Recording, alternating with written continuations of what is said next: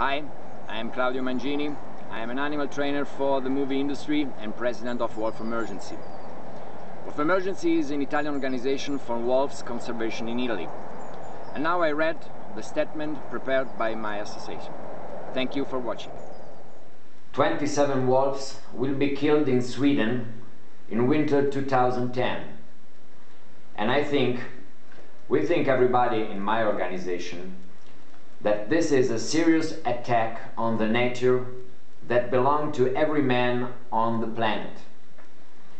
Every real wolf killed represent a defeat of civilization and common sense.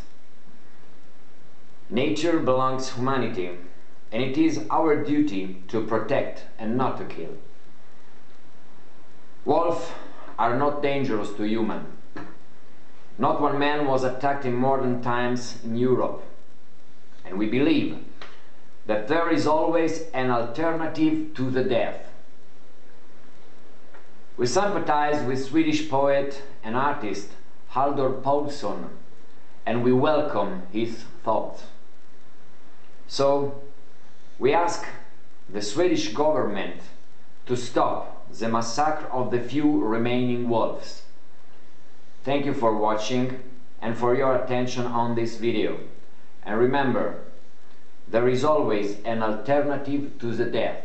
Wir bitten die schwedische Regierung, die Jagd auf Wölfe in Schweden stoppen. Jedes tote Wolf ist eine Niederlage des menschlichen Geistes und gesunden Mensch im Fernstand. Cada lobo muerto rappresenta una derrota dell'intelligenza umana e il buon sentito comune. Ogni lupo ucciso rappresenta una sconfitta dell'intelletto umano e del buonsenso comune.